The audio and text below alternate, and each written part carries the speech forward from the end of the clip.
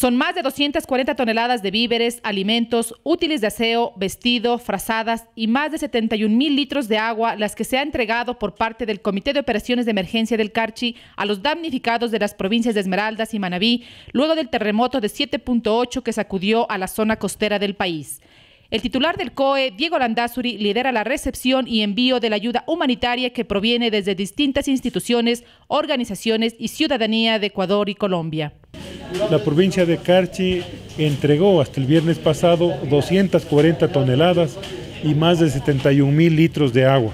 en distintas vituallas, alimentos, eh, eh, vestidos, eh, implementos varios de aseo, etcétera. Representantes del COE, de manera conjunta con SENAE, coordinan acciones institucionales a fin de que toda la ayuda que llega desde Colombia sea verificada a través de un procedimiento sencillo para alimentar una base estadística sobre lo ingresado al país. Dejar un listado de toda la mercancía que está ingresando al Ecuador en la aduana para poder hacer un trámite de un registro simplificado que solamente llena aproximadamente unos 10 campos, de los cuales tenemos que hacerlo para tener una estadística real de cuánto es lo que se está recibiendo por parte del hermano país. Las autoridades de los gobiernos provinciales y municipales se comprometieron a facilitar unidades de transporte para la movilización de todo lo recolectado y oficializar la entrega de las donaciones a través de la Secretaría de Riesgos y el MIES. El martes se enviaron dos camiones con ayuda hacia la provincia de Esmeraldas.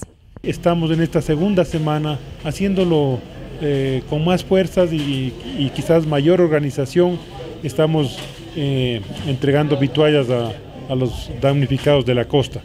El COE provincial del Carchi se encuentra activado y en reunión permanente para canalizar más ayuda a nuestros damnificados.